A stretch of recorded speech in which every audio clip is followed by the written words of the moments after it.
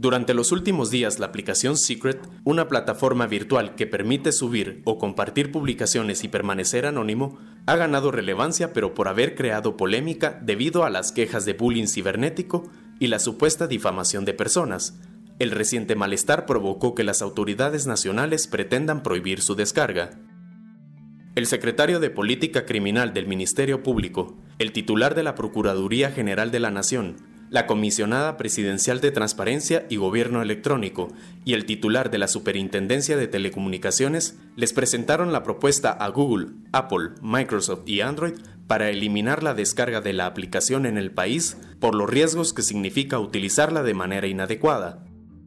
De acuerdo con el titular de la PGN, Vladimir Aguilar, la aplicación ha sido utilizada para difamar a varias personas por medio del envío de mensajes que vulneran la privacidad e integridad moral. Además, buscarán por un medio legal que los administradores de Secret proporcionen la información de las personas que en el anonimato han atentado contra la dignidad de otros.